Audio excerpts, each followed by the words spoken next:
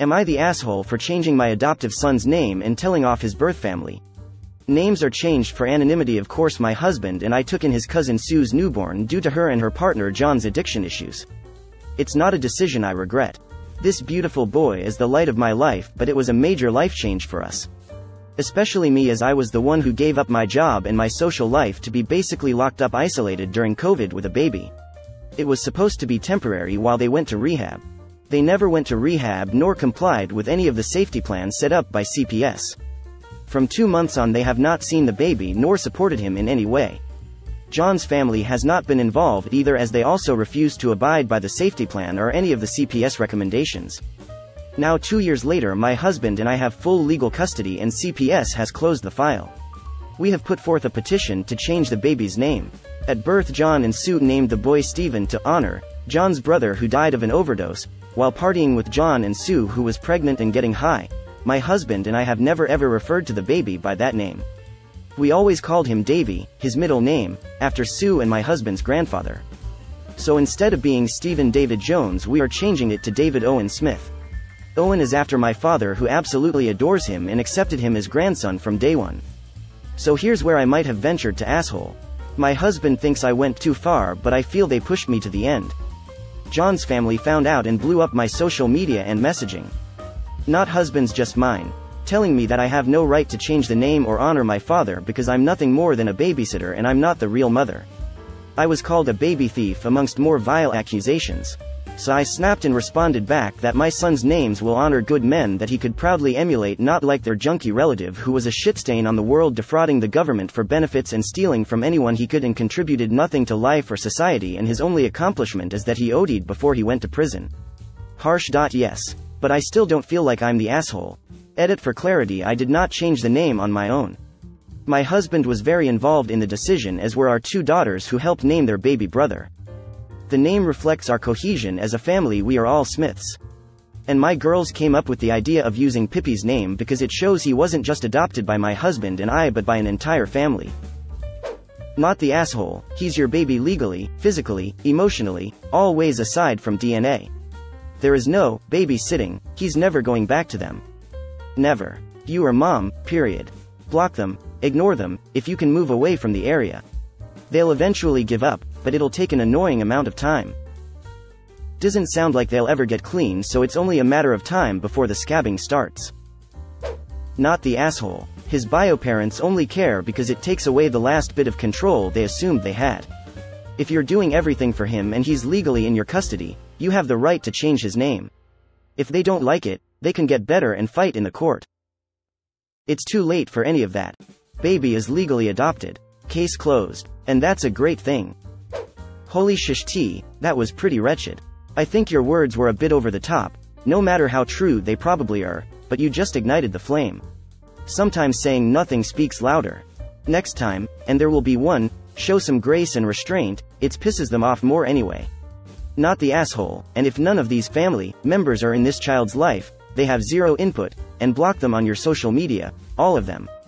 Good luck. The problem with restraint is that it takes a certain character to appreciate it. Sometimes going hell for leather as all people understand. It sounds like original poster realized the people here belonged in that group. This was absolutely a case where the scorched earth policy was not only justified, but necessary. I'll show restraint all day long as long as it's effective, but the second someone tries to barge over that line the way these people did, I'm not gonna lose any sleep over ripping their feelings to shreds with some brutal honesty. Gentle everyone sucks here. They're speaking from a place of pain and shame. I'm glad the baby has you and your husband. But there is no need to speak like that of people suffering from addiction. They're already as low as you can get, so there is no need to punch down like that. You know the truth of the situation. So do they. They just can't admit it to themselves. Keep being a godsend to the little man. Block the ones hellbent on rewriting the narrative, and enjoy your family. Recovering addict with 15 years sober here and actually yes they do need to be spoken to that way, they haven't hit their bottom yet and do not, will not take help if it is offered with getting clean. At the point that these people are at anyone who is not speaking to them in a direct and blunt manner will be ignored outright. Original poster did not punch down in any way, shape, or form and in order for these people to hit bottom, they need more people talking to them the way original poster did. Edit. Changed a few words. I agree. If losing your baby isn't the rock bottom to motivate you to do better, then a few harsh words isn't going to be the straw either. Not the asshole you are looking out for your son. These people have pushed you and instigated you. Could you have ignored them or used kinder words? Sure, but should you have? I'm gonna go with no. They needed a harsh dose of the truth. Block them on everything and keep David away from them. There's always a lot of people with something to say, but none of those people are ever stepping up, are they? Exactly. They have nothing to do with the baby and then all of a sudden she's a baby snatcher? No thank you. They deserved every harsh word she spat at them. I love how Op went from this motherly persona concerned for the baby's well-being to cutthroat. Not the asshole. Never mess with a parent looking out for their little one. Not the asshole. You didn't dishonor a dead person, good lord, people need to stop with the second-hand offendedness. If they cared more about the kid than their drugs, they could have named him whatever they wanted to and kept the name permanently. Not the asshole. I love how no one has cared about this child until you dared change his name. Where have they been all this time? Too late now. Side note, how dare they call her nothing more than a babysitter? She's his mother. She's been his mother every single day and every single night for years. His birth giver couldn't even try rehab once to spend time with him. Meanwhile, his mother has been soothing every cry, changing every diaper, making every meal not the asshole. I found that so ridiculous I didn't even bother to address it, but I guess the whole way they are acting is ridiculous. Not the asshole you are not a babysitter, you are Davy's parent. Everyone sucks here. You are the kid's parents now and the family have no business kicking off at you. It's not their call. However, the way you talk about the late brother is revolting. Addiction is a disease. Would you be saying the same thing if he had killed himself due to depression? Coming from a family of addicts who I am zero contact with, I fully understand the anger and the need to remove the child from any trace of that life. But it's not an excuse to talk to horribly about their loved one who died due to his addictions. Yeah, she should never have engaged with them on a public platform. Someday, her kid is going to find out about how original poster really feels about his birth parents, and this may cause him to side with his bio family. Carrot, carrot, carrot, this is the answer. Everyone in the comments section arguing about whether the bio parents or the dead namesake uncle deserved what was said or how it will affect them, that's not the issue at all. The issue is that someday the son is going to grow up and find out about all this mess and seeing, hearing how his loving mom and dad talked to, about his bio parents is going to hurt him, a lot, and may hurt his relationship with original poster. I wish your comment was more visible. I'm shocked no one else seems to be commenting on this. M. It's tough but I am gonna say not the asshole. Like, your words were harsh, but you didn't lie, and you didn't say them out of the blue, they said disgusting things to you first. I think that makes you a justified asshole, which means you are NTA. The baby hasn't ever gone by the name on paper, so changing his name legally makes total sense. Your kid is too young to choose their own name, so it's not like you could ask the baby what it wants its name to be. And I sincerely doubt they'll be confused by it since you've never called him his legal name. As far as he can tell, his name will never change. As an aside, sorry they said such things to you. You are not a baby thief or a glorified babysitter. You are a parent.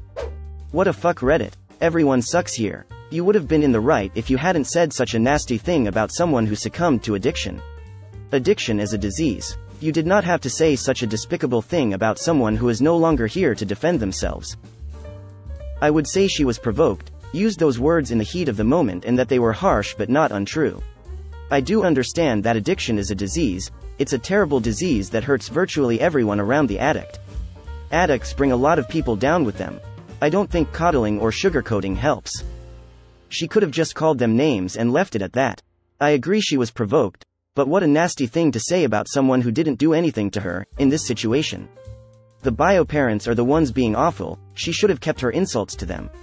She's not an asshole for wanting to change the name of her child, but she's an asshole for the things she said. Given that the pregnant relative was getting high while pregnant, which, thankfully sounds like it didn't affect the baby seriously, I'd have said the same things, honestly. It's hard enough when someone has an addiction, believe me, I know firsthand, but to willingly cause harm to a growing fetus because of it, yeah, that's over the line.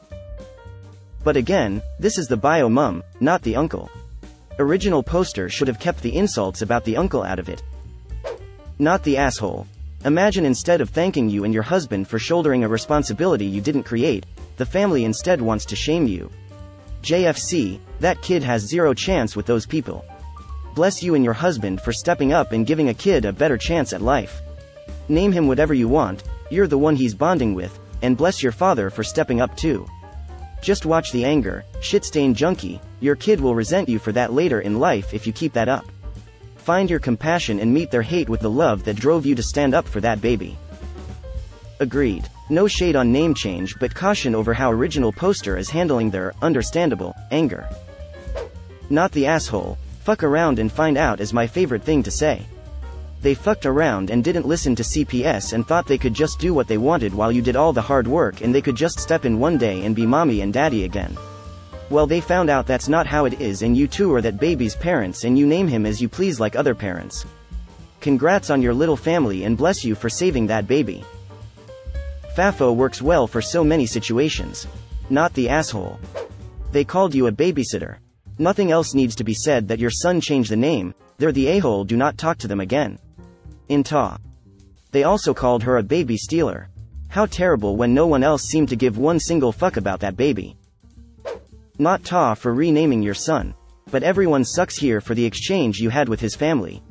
They came after you in a very nasty way and they deserve to be put in place verbally. But I feel like you didn't only knock them out verbally, but kicked them to the ground and then beat them to a pulp with a metal baseball bat and then set them on fire, metaphorically speaking. I understand why you did it. I understand why it was justified.